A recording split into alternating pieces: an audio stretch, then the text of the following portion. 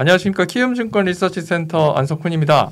네 안녕하십니까 키움에서 미국 주식 담당하고 있는 이원주입니다. 네 해외 주식 리포트 따라잡기 오늘은 우리 이원주 선임연구원과 함께 Newmont Mining이라는 회사에 대해서 좀 알아보려고 합니다. 이 회사는 딱 이름 들으시니까 아시겠지만 mining 채굴 채광인데요. 세계 최대 금광 업체라고 네, 소개드리면 될까요? 네 세계 최대 금광 업체 맞습니다. 맞습니다. 자, 세계 최대 금광업체에 대한 이야기 실적도 이제 말씀드리고 향후 어떻게 봐야 될지 종목에 대한 리포트 내용 기반으로 설명드릴 건데요. 일단 리포트 보기 전에 그 웹사이트를 통해서 몇 가지 정보를 좀 드리고 들어가도록 하겠습니다. 지금 우리가 뭘 하든지 기업 소개를 할 때는 이게 세계에서 얼마나 커? 아니면 세계 몇 대 회사야? 이런 거 되게 중요하잖아요. 그래서 그거를 좀 챙겨보는 걸로 해서 찾아봤더니 여기 세계 5대 금광 회사 순위가 있어서 간단하게 소개해드리고 가려고 합니다. 자, 어, 첫 번째 회사가 오늘 소개해드리는 뉴몬트 골드코프. 이게 뉴몬트라는 회사랑 골드코프라는 회사가 합병했는데 최근에 이름을 뉴몬트로 다시 변경을 했고요. 세계 1위 채, 금광 채굴 업체라고 보시면 되겠습니다. 이게 158톤 네, 금을 채굴했다는 얘기고요. 자, 2위 업체는 이제 배릭골드라는 업체로 140톤. 그리고 3위 업체가 앵글로골드 아샨티 106톤 있고요. 4위는 킨로스 골드 77톤. 이거 냄새 이름 보니까 남아프리카 공화국 같은 느낌 들고 5위 업체가 뉴크레스트 마이닝이라고 해서 76톤. 이렇게 해서 세계 5대 금광 업체 리스트 한번 확인했고요. 또 앞서서 그와 함께 그 사이트 하나 더 보여드리려고 하는데 그 다 작년에 이 금광 업체들 주가 얼마나 움직였는지 보여주는 그림이 있어서 제가 잠깐 가지고 왔습니다. 뉴몬트가 37% 이상 주가가 올랐다 이렇게 보시면 되고 배릭골드 22.5% 그리고 프랑코 네바다라는 회사 21% 이렇게 올라서 작년에 금값이 많이 오르면서 그 금광 업체들의 주가도 많이 올랐다. 이렇게 말씀드리고 요 제목에서 보시면 이제 GDX라고 있는데 요거는 금광 업체에 투자하는 ETF 이름이고요. ETF가 들고 있는 주요 업체들의 어, 주가 스윙이 어땠는지 보여주는 그림이었습니다. 자 이렇게 앞에 오늘은 제가 서두가 좀 길었는데 아, 서두는 이제 좀 그만하고 자세한 내용 네, 이원주 선임연구 리포트를 보면서 말씀 듣도록 하겠습니다. 자 뉴몬트 마이닝 어떤 회사예요? 네, 일단은 말씀 팀장님이 해주셨던 대로 이제 금 채굴 시장에서 점유율 1등하고 있는 업체이고요. 음. 그 오늘은 이제 기업 개요 간단히 말씀드리고 네. 그리고 투자 포인트 3개 어 이제 진짜 화폐는 금뿐이다라는 얘기를 좀 말씀을 드릴 거고 음. 두 번째로는 기축 통화에 도전하는 어떤 화폐 전쟁의 가장 최고의 무기가 금이다라는 얘기를 드릴 거고요. 네. 그 세 번째로는 그래서 뭐 금 좋으면 우리가 뭐 금을 사야 되는 거냐 아니면은 음. 그 뉴몬트 주식을 사야 되는 거냐 고민할 수 있잖아요. 음. 이런 부분들 점검해보고 네. 그리고 이제 2021년 실적과 valuation 살펴보면서 좀 보고서를 좀 진행을 해보겠습니다. 알겠습니다. 근데 사실 금이 요즘에 예전보다는 좀 사람들이 가치가 좀 덜하다 생각하잖아요. 아 그런가요?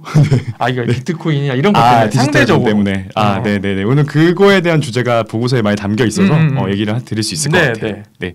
일단 금 개요 아, 이제 기업 개요부터 좀 말씀을 드리면 네. 그 팀장님이 서두에 말씀해 주셨던 대로 이제 세계 시장에서 점유율 6% 정도 하는 어 이제 세계 1등 그 금 채광 기업이다라고 음. 보시면 될 것 같고요. 어 이제 매출 비중을 보면은 2020년 기준으로 금 매출 비중이 90%입니다. 아. 실질적으로 금 가격 움직이는 거에 대해서 주가나 실적이 많이 연동되는 그러네. 구조이고요. 네. 그리고 지역별 매출 비중을 보시면 네. 영국이 가장 높거든요. 이게 왜냐면은 음. 영국의 런던 금 시장이 아. 현물 시장에서 가장 네, 큽니다. 네. 그래서 네. 이제 영국에 있는 은행들이 원래 주요 trader로 참여하기 때문에 네. 이 JP 모건 체이스나 스탠다드 차터드 같은 영국 은행들한테 음. 어, 매출이 나가는 게 가장 큰 비중을 차지하고 있고요. 이 한국의 11.5%는 이거 대부분 고려아연으로 가는 겁니다. 그 아. 고려아연이라는 한국 그 제련소에 이제 금 정광 보내서 이제 금 네. 제련해 주세요 하는 음. 그런 매출이고요. 어, 비즈니스 구조를 간단히 살펴봤고요. 아 그리고 이제 금 생산량 및 매장량 데이터를 좀 말씀을 드리면은 네. 그 주로 북미 그리고 남미, 음. 호주, 아프리카 이 네바다 이 주에 한 여섯 개 정도 그 이제 광산들을 가지고 네. 이제 금속을 판매하고 있습니다. 네.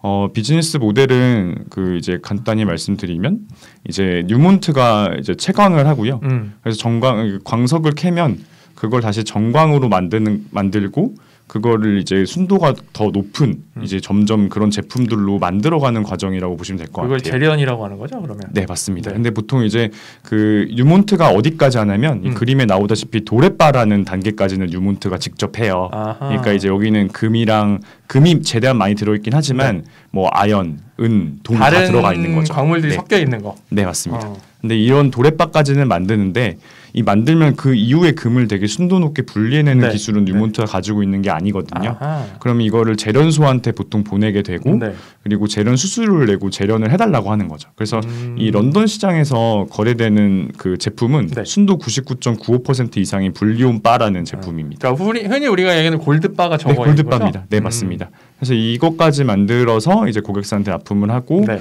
어, 또 현금을 지급받는 네. 그런 비즈니스 모델이라고 보시면 될 것 같고요. 어, 이렇다 보니까 아무래도 이 그 이제 뉴몬트의 어, average selling price, 그러니까 판매 평균 음, 음 가격과 음, 음. 금 현물 가격 거의 똑같이 가고요. 거의 같이 움직이겠네요. 주가도 거의 비슷하게 갑니다. 네, 그래서 네. 금 가격을 보는 게 가장 중요한 업체라고 정도만 보시면 될 것 같아요. 음, 음. 어 이제 쭉쭉 넘어가서 투자 네. 포인트 첫 번째. 네. 그 진짜 화폐는 금뿐이다라는 얘기를 좀 말씀드리겠습니다. 이게 어떻게 보면 좀 되게 뭐라고 올드한 얘기 같긴 한데. 아, 네, 네. 그 게 아니라는 걸 이제 아, 네, 네. 이번 선임 연구원이 밝혀줄 겁니다. 네. 네. 첫 번째 그래프를 보시면 이게 일단 우리가 투자자로서 좀 음. 어떤 리스크를 감당을 아 지금 좀 이렇게 방어를 해야 되느냐를 고민을 네. 해봐야 되는데 저는 지금 물가 상승 리스크 그러니까 달러 가치가 하락할 리스크를 가장 방어해야 된다고 생각을 음, 해요. 음. 근데 보시면은 사실 화폐라는 게 화폐 수요만큼만 공급이 되어야지 사실 그 화폐의 가치가 하락하지 않아서 네. 디플레도 일으키지 않고 인플레도 일으키지 않으면서 경제가 좀 이제 순탄하게 갈 수 있는 음, 거거든요. 음, 음. 근데 이 왼쪽 이 그래프 보시면은 미국의 실질 GDP는 사실 2020년 때 오히려 빠졌어요. 아, 왜냐면은 네, 네. 코로나 이슈 때문에 네, 그렇죠. 경기가 안 좋았으니까. 근데 네. 미국 연준 총재산이라는 게 뭐냐면 결국에 달러 발행권은 연준이 가지고 있는 음. 건데 보통 연준이 달러를 발행할 때 그 미국의 정부 그 국채를 담보로 발행을 합니다. 그렇죠. 그러니까 결국에 그 자산이 늘어난다는 얘기는 국채를 많이 사서 달러 발행했다는 얘기거든요. 음, 음. 근데 보시면 아시겠지만 이 벌어지는 그 이제 차이가 그 차이가 어마어마합니다. 네. 그러니까 사실 이 1930년대부터 미국 달러 가치가 얼마나 하락했는지를 음. 보려면 물가 상승률을 보면 되거든요. 네. 거의 한 8, 90년 만에 16배가 물가가 올랐으니까 네. 사실 거의 달러 가치는 90% 이상 하락한 거죠. 음, 음. 그러니까 달러를 그냥 예금해 놓고 있었으면 자산이 90% 날라간 겁니다. 그래서 이게 이게 그럼 적정한가를 좀 네. 고민을 해봐야 되잖아요. 네. 근데 과거의 사례들을 보면, 그러니까 과거에 어, 기축 통화를 잡아서 세계 음. 패권을 잡아서 기축 통화를 발행했던 역사를 좀 살펴보면 네. 로마 제국이 한 200년 만에 화폐 가치가 95% 정도 하락하면서 로마 제국이 멸망했었거든요. 아. 근데 이게 지금 8, 90년 만에 달러도 90% 이상 사라졌어요. 네, 네, 네, 그러니까 이게 속도가 느리지 않다. 음, 우리가 음, 이 음. 리스크를 충분히 대비를 해야 된다라고 보고 있는 거고요. 네.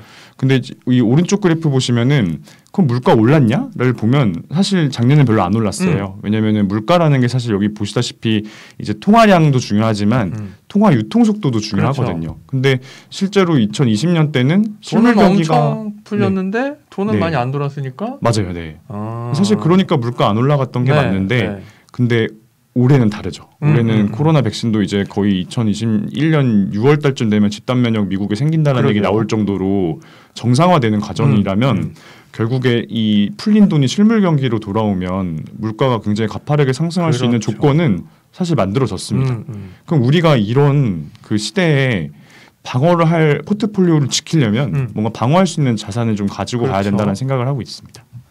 그게 포인트네. 네. 이게 올드한 음. 얘기가 아니에요, 여러분. 아, 네.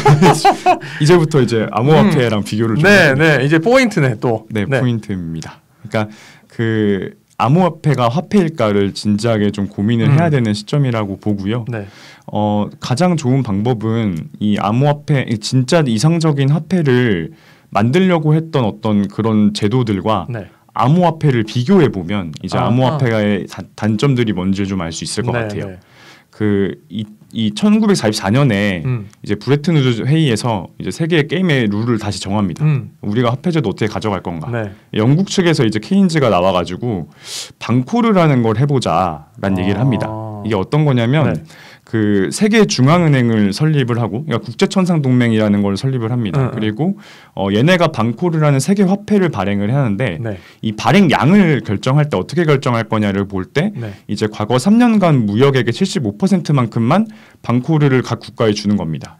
아 그러니까, 그러니까 네. 지금처럼 구, 각 국가에서 화폐를 갖고 있는 게 아니라 전 세계 하나의 통화를 갖는다 그런 거였네. 무역할 때만 이제 무역할 이걸 때. 쓰고 음. 자국에서는 이 정 고정 환율로 쓰고. 쓰고. 이런 식으로 하는 건데 아. 이 제도가 되면 뭐가 좋냐면 결국에 그 화폐를 무분별하게 그냥 막 발행할 수가 없는 거죠. 음. 왜냐하면 3년간 무역액의 75%만 네, 방코르를 받는 거기 때문에 한정을 시켜 놓으니까 그렇죠. 그러니까 보통 이제 진짜 화폐 디플레도 일으키지 않고 인플레도 일으키지 않으려고 하는 측은 음. 이렇게 공급량을 자체를 경제가 늘어나는 만큼만 늘어날 수 있게 네. 설계를 한다는 거죠. 어 이게 좋긴 한데 되게 공산당스럽다. 어, 어 왜요 왜요? 아니 이게 딱 네. 우리가 하나로만 네, 딱 네. 통제하자 이런 것 때문에 아 그런 아 근데 사실 이게 과거의 금본위 제도랑 크게 다르지 않습니다. 음, 그러니까 음, 음. 결국에 모든 나라가 금을 기반으로 이거를 교환할 수 있는 네. 교환권의 개념으로 화폐를 음. 발행하자라는 식의 네, 네. 어, 생각인 거죠. 음, 그리고 알겠습니다. 케인즈도 근데 그 이 케인즈도 이렇게 말했고 그리고 케인즈가 좀 반대편에 서 있는 통화주의자인 이제 밀턴 프리드만도 이 K 퍼센트 준칙이라는 걸 굉장히 얘기를 많이 하거든요. 네. 그러니까 화폐는 경제 성장률을 거의 조금 상회하는 수준으로만 공급되어야지 음. 이 경제가 이상적으로 돌아간다라는 생각인 거죠. 사실 네. 그래서 이게 정말 이상적인 화폐를 만들려는 측들은 거의 다 이 경제가 성장하는 것만큼만 공급될 수 있는 구조를 고민하는 게 기본적으로 가장 이상적으로 가장 이상적인 음, 어, 음. 방만하게 아까 보셨다시피 달러처럼 음. 너무 방만하게 발행되지 않도록 음, 음. 하는 게 어, 가장 이상적인 네. 화폐의 네. 이제 제도인 거죠. 네. 근데 어, 비트코인이 어떠냐 이제 우리가 이상적인 화폐 제도의 어, 조건을 봤으니까 비교를 해보면 비교를 해보면 비트코인 가격이 사실 엄청나게 빠르게 올라가잖아요. 네. 근데 이유가 이제 이 그래프에 나오는 매장량 데이터 때문인데 음. 사실 2009년에 비트코인이 나올 때 이 비트코인 매장량을 2,100만 코인으로 고정해 놨습니다. 그렇죠. 그러니까 이게 공급이 더 안 늘잖아요. 네. 당연히 가격 뛸 수밖에 없습니다. 어, 어, 그러니까 어. 수요가 늘어날수록 네. 당연히 공급 가격이 뛰어나가는 거고 네. 실제로 2020년에 달아나서는 거의 260만 코인 정도밖에 매장이 안 되어 있습니다. 음. 그러니까 한마디로 공급이 한정되어 있다라는 말은 이 차트처럼 네. 화폐의 가치가 너무 빠르게 올라간다라는 그렇죠. 거고요. 그러면 사실 이거를 화폐로 쓰게 되면 음. 대형 디플레이션이 발생할 수 음. 필연적으로 발생할 수밖에 없는 네. 거죠. 그러면 이거는 이상적인 화폐 제도에 너무 맞지 않는 거고 음. 결국에 이게 뭐 최근에 좀 계속 뭐 거래 수단으로 사용되려는 그림이 보이지만 이게 주력적인 화폐 거래 제도가 되기에는 비트코인이 좀 힘들다라는 음. 어, 것을 좀 어, 좀 보셔야 될 것 같아요. 네, 네, 네. 첫 번째로는 그래서 어, 비트코인은 좀 대형 디플레이를 일으킬 수밖에 없기 때문에 사실 거래 수단으로서 별로 적합하지, 적합하지 않다. 라는 음, 얘기를 음. 드린 거고요. 네, 네. 두 번째 근거는 이제 민간화폐가 발행됐을 때 과거에 어떤 일들이 있었냐를 음, 좀 살펴보는 그런 내용인데 시도도 되게 엄청 많았겠다. 그러고 보면 아 많죠. 왜냐하면 모든 나라가 기축통화를 왜 가지고 싶어하냐면 음. 화폐 가치만 지켜진다면 내가 이거 부를 무한히 소유하고 그렇죠, 있는 거거든요. 그렇죠. 왜냐하면 내가 발행권이 있으면 어, 어, 어. 당연히 민간에서도 이런 수, 이런 이런 시도들이 있습니다.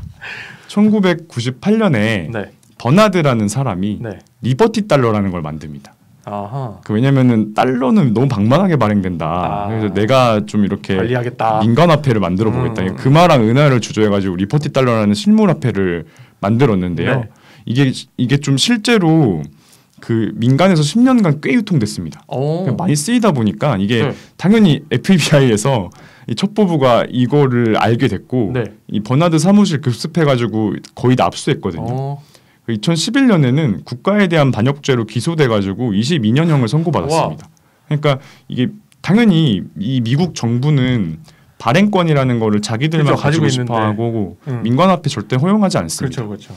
두 번째 사례도 흥미로운데 음. 이제 Gold and Silver Reserve라는 민간 회사에서 그 e-gold라는 그 온라인 그 포인트를 만듭니다. 아, 이 이가에서 저희 저 온라인 얘기하는구나. 그렇죠. 네네. 이게 네. 뭐냐면 그 얘네가 고객들로부터 금이나 음 같은 거를 받아요. 아, 그래서 주는 거야? 그래서 그걸 포인트로 네, 네. 지급을 하는 겁니다. 근데 이게 되게 인기가 많았던 게 오. 어. 당연히 그 포, 금과 은을 실물로 거래하면 너무 힘든데 네, 이걸 포인트로 거래하면 어. 사실 뭐 보관 비용도 안 네, 들고 네. 그리고 그 무역도 되게 할 때 편했기 때문에 아. 이것도 민간에서 꽤 많이 쓰였습니다. 그러니까 이런 당연히 이런 거를 당연히 연방 정부는 잘 안 보죠. 그렇죠. 그대로 안 보기 때문에 당연히 2007년에 이제 기소를 하고 거래 내역을 정부로부터 다 감시받게 됩니다. 음, 음. 당연히 이거는 아. 민간에서 원하는 그림이 아니기 때문에 네. 회사는 파산했고요. 아하. 그래서 이게 정부 오히려 비트코인이 지금 제재를 안 받는 거는 음. 오히려 이게 주요 거래 수단으로 달러를 위협할 정도로 안 쓰인다라는 생각을 미국 정부에서 하는 겁니다. 아. 그러니까 오히려 화폐적인 가치는 없다라고 판단하는 음. 거죠. 생기면 바로 FBI 뜹니다. 아, 아 네. 그러겠네요. 네, 그래서 이게 비트코인이 결국 화폐로서의 수요가 없다는 건 되게 큰 의미거든요. 왜냐하면은 음. 화폐로서 수요가 없으면 네. 사실 실수가 투기적인 수요밖에 없는 건데 네. 그 투기적인 수요라는 거는 다 이런 마인드인 거죠. 아 언젠가 내가 이거를 더 높은 달러로 바꾸겠다. 그렇지, 그렇지, 근데 그거 다 매도세라는 거거든요. 네, 그러니까 네. 이거는 사실 그 비트코인의 변동성을 굉장히 키울 수 있는 어, 이슈기 때문에 그 뭐 이게 언제 언제 뭐 될 거다라는 거 맞출 수 없지만 네. 위험하다라는 생각은 다들 하셔야 된다는 음, 거죠. 네. 갑자기 생각나는데 페이스북이 네. 암호 그 가상화폐로 리브라를 출시한다고 했다가 네. 동맹 연합군을 만들었는데 네. 각국 정부에서 그딴 짓을 왜 해? 라고 하니까 그렇죠. 네. 다 거의 다 빠져나갔잖아요. 맞습니다. 네. 아 위협을 느꼈으니까 정부들의 정부에서 움직였고 그 네. 영향을 미쳤다. 네. 볼 수 있겠네요. 네, 참고 삼아 생각나서 말씀드렸습니다. 네, 계속 얘기해 주세요. 네. 화폐 발행권이라는 건 기본적으로 군사력을 가져야 됩니다. 세계 패권을 가져야 아, 생기는 겁니다. 그러네. 네, 그래서 이제 어 그동 지금까지는 그 비트코인이 화폐로서의 가치가 없을 거다라는 음. 얘기를 한 거고 네. 그럼 금이랑 비교를 해보라는 네, 네. 거죠. 그러니까 아무 아무래도 암호화폐가 뭐 디지털 금이다라는 표현을 막 자꾸 나오니까 네. 그 이런 측의 주장을 좀 보면 이제 금도 결국 그저 노란 금속에 불과한 거 아니냐. 음. 근데 동의가 확산되니까 안전자산이 된거 아니냐. 그렇죠, 그렇죠. 암호화폐도 그런 거다. 모두의 동의가 쌓아가는 과정이고 뭐 특별할 거 없어도 모두의 동의가 쌓이면 가치가 생긴다라는 음. 주장들이 많이 있는데요. 근데 금이 그저 노란 금속이 아닙니다. 좀이 아, 얘기를 아. 말씀을 드리면 네. 이 이 표 보시면은 주기율표 118개가 이렇게 있어요. 오, 뭐 중학교 때 본다. 네, 중학교 때 저희 막 많이 외우던 뭐 네. 그런 표인데 전 세계 전 우주 모든 물질이 네. 이 118개의 조합으로 이루어져 있는 거거든요. 아하. 근데 우리가 한번 이 이 이 원소 기호 중에 이제 화폐로 적합하지 않은 원소들을 스크리닝을 해보자는 음, 음. 거죠. 왜냐하면 화폐라는 거는 결국에 부를 저장하는 수단이어야 네. 되고 그리고 거래의 단위가 돼야 되다 음, 음. 보니까 이 조건이 있거든요. 그러니까 네. 하나씩 살펴보죠. 그러니까 보면 일단 상온에서 기체 상태면 화폐로 안 아, 쓰겠죠. 아, 그러면 이제 주기율표상 오른쪽에 있는 것들 다 빠집니다. 뭐 헬륨 뭐 이런 아, 것들 다 빠지는 거고요. 가스들은 다 빠지고. 가스들 빠지고요. 다음으로 이제 물과 접촉했는데 폭발하면 안 되겠죠. 오. 그럼 내 부가 지켜지는 게 어, 네, 아니니까요. 네, 네. 그러니까 당연히 이런 왼쪽에 있는 리튬, 뭐 나트륨 다 빠지는 거고요. 음. 그 다음에 당연히 우리가 이거를 손으로 주고받아야 되는데 방사능 물질이 있거나 독성이 있으면 그렇죠, 그렇죠. 다 빠지지 않겠습니까? 그렇죠. 그럼 다 이런 이런 그 주기율 표상 아래에 있는 것도 다 네. 빠집니다. 어, 이거 재밌는데? 그리고 다음으로 가면은 이게 화 아까 말씀드렸다시피 그 너무 방만하게 공급되면 안 되거든요. 네. 그래서 이게 지구상에 너무 많이 있는 넘쳐나는 애들은 또 의미 안 됩니다, 안 됩니다. 그럼 네, 그러면은 네. 의미가 없는 거기 때문에 음. 그래서 이것도 빠지고요. 네. 다음으로 이제 화폐로 사용되게 너무 희귀해도 안 됩니다. 너무 없어도 안 돼요. 네, 이거 비트코인 같은 거. 비트코인처럼. 그렇죠. 이게 너무 채굴량이 한정돼 있으면은 네. 이게 화폐로 쓰이게 되면 당연히 그 좀 가치가 급격하게 올라가기 음. 때문에 안 되고요. 네. 그리고 1800년대 이전에 이 녹는 점이 뭐 이제 뭐 3000도가 넘어가지고 네. 가공하기 어려웠던 것들 당연히 빠지겠죠. 아하. 이런 부분들 빠지고요. 네. 그럼 두 개 남는데 그게 은이랑 금입니다. 아. 네. 그러니까 이제 그렇게 인류가 네, 네. 지금까지 살아오면서 네, 네. 다 경험해서 나온 게 금하고 은이란 얘기 아니에요. 네, 그냥 금이 그저 노란 금속이 아니라 음, 음, 전 음. 모든 물질 중에 화폐로 적합한 게 금밖에 없습니다. 아하. 그 은은 왜 탈락되냐면 은은 그 뭐냐 예를 들어 공기 중에 황이 많은 지역에서 은이 변색되거든요. 아, 변질되는구나. 그러면은 이제 남은 거는 AU라는 금 네. 원소 하나인 거죠. 아하. 그래서 이제 지구가 안 바뀌면 네. 금의 가치는 안 바뀝니다. 화성에 가지 않는 한 네, 그래서 지구에서 유일한 네 유일한 화폐로 적합한 수단이고 음... 그러니까 금분위제가 끝났다고 하지만 네. 세계 중앙은행들이 금을 자꾸 모으는 이유는 이런 겁니다. 아 이게 좀 이해가 이게 좀 네. 이게 와닿네요. 아 예. 예. 네. 네 이런 부분들 좀 주의 깊게 보셔야 되는 네. 거고요. 또 두 번째로 금이 왜 특별하냐면 음. 놀랍게도 경제가 딱 성장하는 것 정도만 공급이 됩니다. 그건 왜 그렇지? 아 왜냐면은 금이 사, 실 만약에 금을 쉽게 만들 수 있으면 네.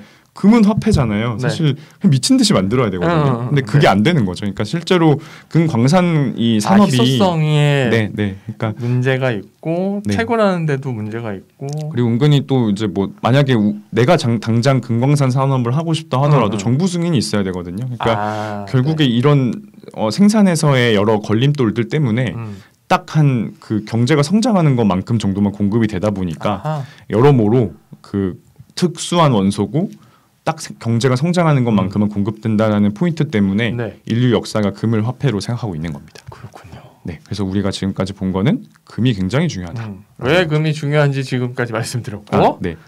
그래서 투자 포인트 두 번째는 이제 그럼 네. 이해하실 수 있을 거예요. 음. 왜 중앙은행들이 다 금을 모으는지. 음. 근데 일단 이 당연히 기축통화라는 거는 너무 그 모두가 갖고 싶어하는 지위거든요. 그렇죠. 말씀드렸다시피 기축 통화를 가지고 있으면 네. 실질적으로 발행만 하면 부가 무한한 거예요. 그러게요.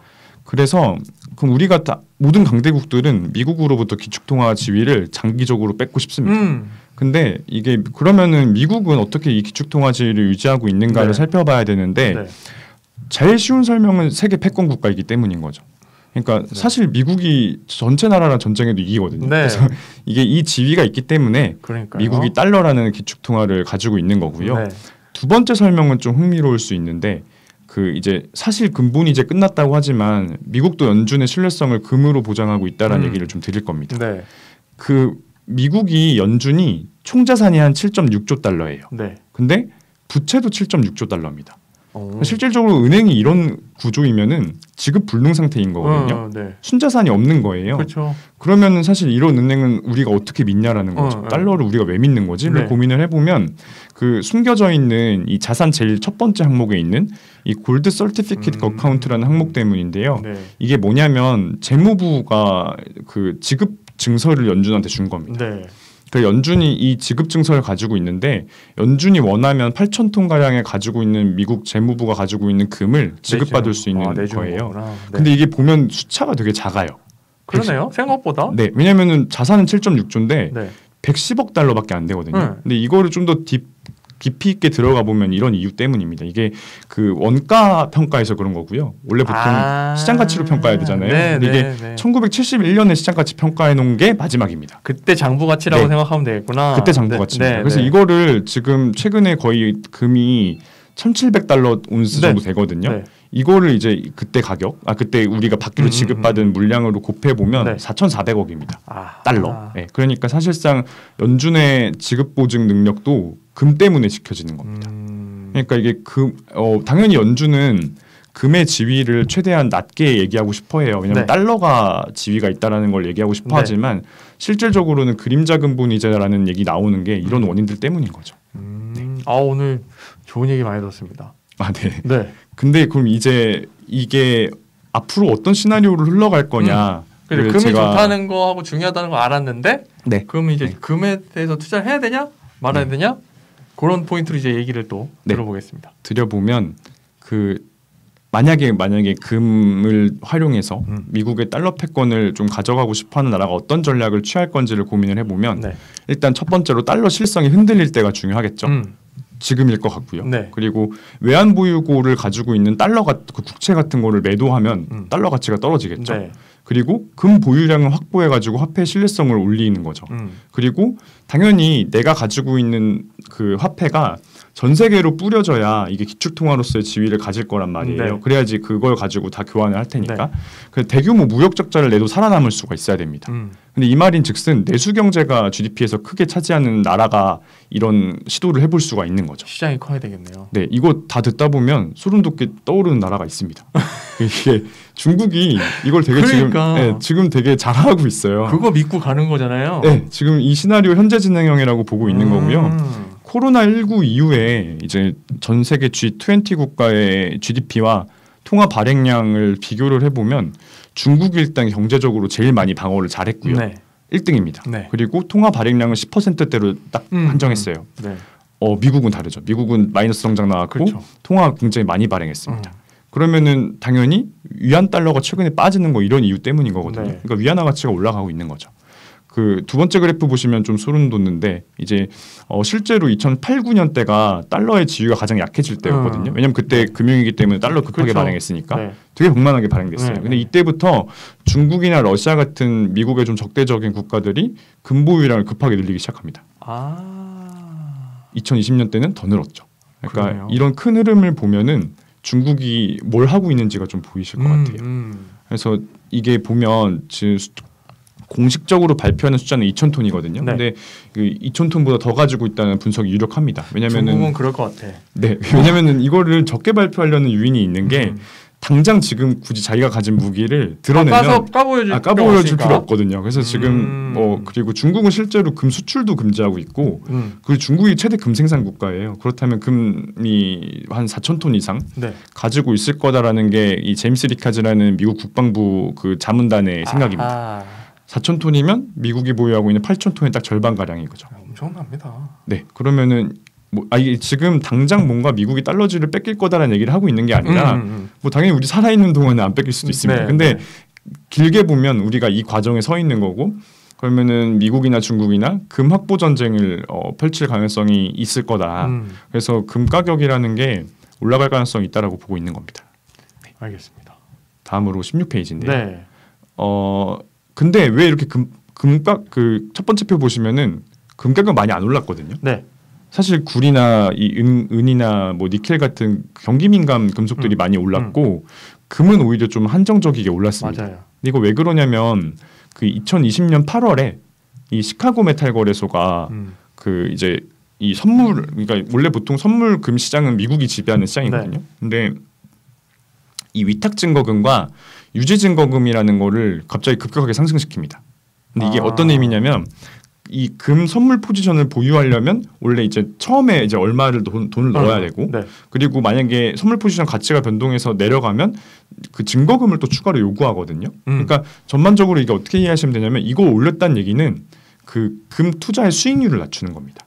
그렇겠네요. 네. 네. 근데 비용을 미국이, 늘리는 거니까. 그 비용을 늘리는 거니까. 음, 음. 근데 미국이 왜 이러냐면 음. 금 가치 상승은 달러 가치 하락을 의미하는 거거든요. 그러니까 인위적으로 조정하는. 네, 인위적으로 미국은 금을 계속 그냥 하찮은 것처럼 취급하고 음, 싶어합니다. 음, 음, 음, 그래서 달러 가치를 올리기 위해서 네, 왜냐하면 네. 원래 보통 달러 가치 올리려면 금리를 올리면 되거든요. 음. 근데 지금 미국 경제 상황상 금리를 못 올려요. 그렇죠. 실업률 너무 높고 이러니까 그럼 금리를 못 건드린다면 금을 건드리는 겁니다. 음. 실제로 2011년에도 이때 어떤 때였냐면 중국이 우리 미국 국채 다 팔아버리고 외환 보유고 금으로 보유하겠다라고 아, 위협할 때다. 위협할 때거든요. 네. 이때 보시면 위탁 증거금을 급하게 올려버리죠. 아... 왜냐하면 너네 금 사겠다고 네, 네. 금 가치 내가 폭락시켜줄게라고 음, 음, 음. 이제 아까 하는 겁니다. 그래서 이제 이런 흐름으로 진행이 되고 있다 보니까 금이 덜 간 건데 음. 근데 이거 제가 임시 방편에 불과하다라는 얘기를 써놨는데요. 네. 이왜 그러냐면은 결국에 금 가격을 내려주면 중국 입장에서 땡큐거든요. 그러니까 사 모으는 거죠. 그렇죠. 네, 그래서 이게 단기적으로야 이런 식으로 좀 단, 달러 가치를 방어할 수 있겠지만 장기적으로는, 장기적으로는 마이너스네요. 네, 미국에는. 실제로 2011년 때도 증거국 다시 내렸었거든요. 음, 그래서 음, 음. 결국에는 근본적으로 미국이 경제 상황이 좋아져서 달러 가치를 방어를 해야지 음. 이런 식의 임시 방편으로는 길게 못 갑니다. 그래서 아하. 오히려 지금은 이런 이슈 때문에 금이 빠졌을 때 어, 사모으기 좋은 타이밍이다라고 보는 거죠. 네. 이거 훌륭한 논리인데? 아, 네. 네. 어, 좋게 보고 아, 있습니다. 알겠습니다. 그래서 이제 어, 세 번째 자, 이제. 금에 투자한다. 네. 그러면 금에 직접 투자하는 게 좋냐? 금광업체에 투자하는 게 좋냐? 네. 네. 요 포인트. 네. 그걸 고민해 보면 일단 금광산 주식이 어떤 의미냐? 네. 어, 금 레버리지 상품 성격이라는 말씀을 좀 드리겠습니다. 음. 이두 번째 그래프 보시면은 이 2011년부터 15년이 금 하락기였고 네. 금 상승기가 이제 2016년부터 현재인데 네. 보시면은 골드가 내려갈 때는 거의 두 배 이상 떨어지고 아, 주가가 빠지, 빠지고 네. 골드가 올라갈 때는 두 배 이상 올라갑니다. 그 아하. 네, 그래서 이 광산 주식에 투자한다는 의미는 우리가 금 가격 상승에 정말 확실하게 베팅할 수 있을 그러네요. 때 네, 보통 광산 주식이 더 매력적입니다. 네, 네. 그래서 일단 이런 의미를 알고 가시면 좋을 것 같고요. 음.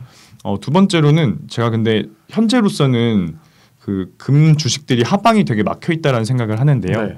네. 일단 이 그래프를 보시면 빨간색 선이 뭐냐면 뉴몬트의 배당 수익률을 이 미국 10년물 국채 수익률을 뺀 숫자입니다. 음. 이걸 왜 보냐면은 결국 무위험 금리 대비해서 이 배당 매력도가 얼마나 높은가를 네. 보는 거거든요. 네. 근데 이게 historically high 수준에 있다라는 얘기는 음. 결국에 이거 주가 더 빠지면 음. 배당 수익률 더 오른다는 얘기잖아요. 그렇죠. 배당 매력도가 너무 올라갑니다. 그 말인 즉슨 주가 더 빠지면 매수세 많습니다. 그래서 어, 결국에 지금 상황에서는 배당 매력도가 너무 높아서 음. 주가가 더 빠지기가 쉽지가 않습니다. 네, 네. 이렇게 봤을 때 우리는 지금 하방은 막혀 있는데 음. 금 가격이 올라갈 때는 레버리지로 먹는 음. 좋은 타이밍이라는 거죠. 음. 근데 보시면 바리골들은 비교해 보면 바리골들은 사실 배당 수익률이 한 1%밖에 안 돼요. 네, 네. 그러니까 1% 정도 되는 배당 수익률로는 이게 뭔가 historically high 배당 수익률로 더 빠지는 그림을 네. 보여주거든요. 네. 근데 이제 뉴몬트 같은 경우는 배당 수익률이 지금 이제 3.7%까지 올라와 있기 음. 때문에 얘네는 방어가 됩니다. 아하. 그래서 배릭골드보다는 뉴몬트를 사자는 콜을 드리는 거고요. 네. 그다음에 어, 광산 주식의 그럼 리스크는 어떤 거냐? 너무 음. 좋은 얘기만 드렸으니까 네. 어, 리스크는 어떤 거냐를 고민해 보면 일단 첫 번째로 고민해야 되는 거는 어, 광산 주식은 근데 매장량 다 고갈되면 끝나는 거 아니야? 라는 생각을 음, 할수 그런 생각 할수 있죠. 할 수 있죠. 네. 근데 어, 제가 데이터를 가져온 게 어떤 데이터냐면 그 미국 지질조사국에서 이제 reserve 데이터와 resource 데이터를 마, 어, 말을 해주는데요. 음. 이게 뭐냐면 reserve는 이제 현재 시점에서 경제성이 있고 발견된 매장량을 말하는 겁니다. 음, 음. 근데 resource 같은 경우는 미래 시점에서 reserve가 될 것 같은 걸로 추정되는 매장량을 네. 얘기하는 아, 여기 있을 것 같아라고 네, 있을 것 같아. 거. 네, 음. 그리고 또 심지어 이게 금 가격이 더 올라가면 네. 경제성 있는 매장량이 늘어나는 어, 거죠. 어, 어, 네. 실제로 2005년 때부터 보시면 한 해에 3천 톤 가량 계속 채굴이 되거든요. 네. 근데 오히려 reserve랑 resource 그 매장이 계속 올라갑니다. 어 그러네요. 이거 왜 그런 거냐면은 당연히 금 채굴 기술도 발전하니까 음... 어 예전에는 저기가 저 매장량을 캐도 돈이 안 되는 네, 광산이었는데 네. 갈수록 이제 캐도 되는 음. 광산이 돼가는 거죠. 그러니까 옛날에는 캐다 캐다 이제 더 우리 못 들어가서 안 캤던 것들 아니면 여기는 네. 금 함유량이 낮아서 네. 안 채굴했는데 네. 기술이 발전해서 그걸 네. 이제 유용하게 쓸 수 있게 됐다. 네. 그렇게 이해하면 되겠네요. 그래서 20년째 채굴이 계속되고 있지만 네. 전반적으로 5만 톤 가량의 매장량이 있다라는 게 계속해서 결론이고 음. 결과적으로 뭐 그렇게 매장량을 걱정할 건 아닌 것 같습니다. 음. 지구상에 큰 많습니다. 네, 네. 그리고 실제로 뉴몬트 같은 경우도 거의 2040년까지 생산량을 유지할 수 있는 파이프라인을 가지고 있고 음. 계획을 가지고 있거든요. 네. 그래서 뭐 우리가 뭐 이게 리스크라고는 하지만 어찌됐건 뭐 그렇게 걱정할 건 아니다 하는 음. 거고요. 두 번째 리스크라는 거는 어 그런 거예요. 그러니까 신흥국에서 아무래도 생산을 많이 하거든요. 네.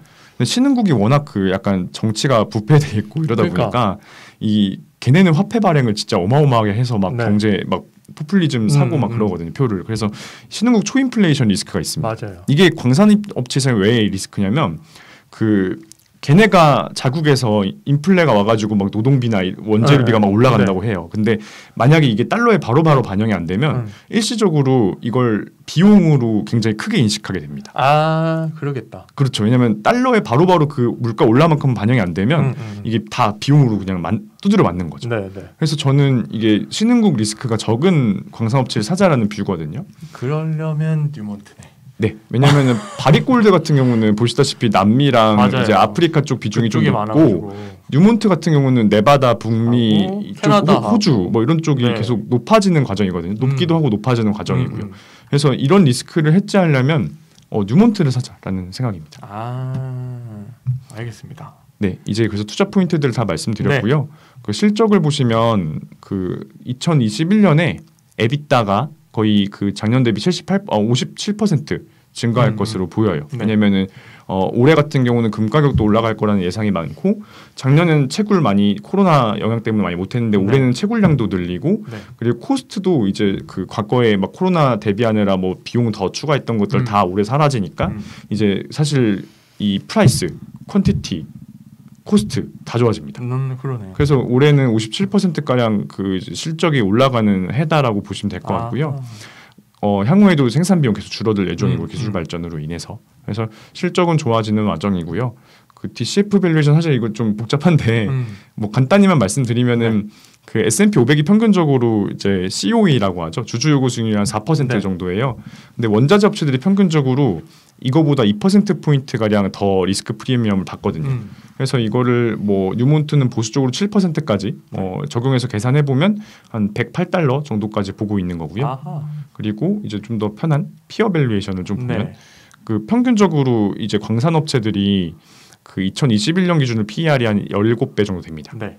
근데 어, 뉴몬트 같은 경우 14배니까 네. 평균 대비해서 20% 이상 할인받아 거래되고 있고요. 음. 그리고 주요 광산업체 중에 배당 수익률 가장 높습니다. 음. 그러니까 주가의 하방이 좀 막혀 있고 그리고 앞으로 금 가격이 올라가는 거에 수혜를 받을 수 있다면 어, 상당히 매력적인 투자 기회가 될 것으로 보고 있습니다. 좋네요. 네. 와, 제가 지금까지 그 미국 주식 투자 지도 책을 두 권을 내고 지금 세 번째 작업을 하고 있는데 금을 좋게 본 건 사실 작년인데 제가 작년에 그 책을 안 써서 아, 요번에 썼으면 어 요번에 나오는 책에도 사실 광산하고 금은 안 넣었거든요. 아, 네, 네. 근데 원 이원주 선임연구원이 레포트를 제가 좀 더 일찍 봤더라면 아. 종목을 아, 네. 뉴먼트를 넣을 수 있었을 것 같은 느낌이 아 알겠습니다. 네. 사실 금에 대해서는 그 매일 시황에서도 금 가격을 이야기해서 1,900달러, 2,000달러 작년 중반에 가다가 이후로는 계속 빠지는 상황이라 많은 분들이 아 금은 이제 아닌 것 같아라고 하셨을 텐데 어, 오늘 이원주 선임연구원의 리포트를 통해서 아니다. 이런 새로운 측면에서 한번 금의 가치를 한번 다시 한번 평가해 보면 좋을 것 같다는 생각이 들었습니다. 앞으로도 좋은 리포트 아, 네. 부탁드리고요. 네. 그 오늘 금에 대해서 특히 이제 뉴몬트 기업에 대한 분석과 금의 가격 그리고 미래 가치에 대해서 말씀 나눴습니다. 오늘 오 생각보다 이야기가 좀 길어졌는데 금과 또 금과 관련된 기업에 대한 그 투자 정보로는 오늘 이게 최고인 것 같아요. 아 감사합니다. 네, 사실 기존에 네. 금광이나 이런 투자 정보를 사실 이렇게 많이 생산을 안 했었거든요. 다른 증권사도 아, 마찬가지고. 네네, 네. 그래서 요 정보는 많은 투자자분들에게 도움이 되지 않을까 생각이 됩니다. 오늘 그 짧지 않은 시간이지만 어, 충분히 시간을 내서 공부하실 만한 컨텐츠를 제공해드린 것 같아서 뿌듯하고요. 저희는 그럼 다음 시간에 다시 인사드리도록 하겠습니다. 고맙습니다. 네, 감사합니다. 해외 선물 옵션 첫 거래 이벤트. 키움증권에서 해외 선물 옵션 첫 거래하고 최대 100만 원 현금 받자. 투자 시 원금 초과 손실에 유의하세요.